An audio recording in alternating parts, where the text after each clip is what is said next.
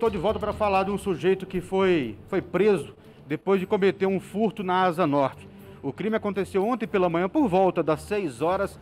A polícia militar foi acionada por causa de um alarme que tinha disparado. Os policiais, quando chegaram no endereço informado, verificaram que a, o autor tinha arrombado a loja lá e furtado alguns pertences.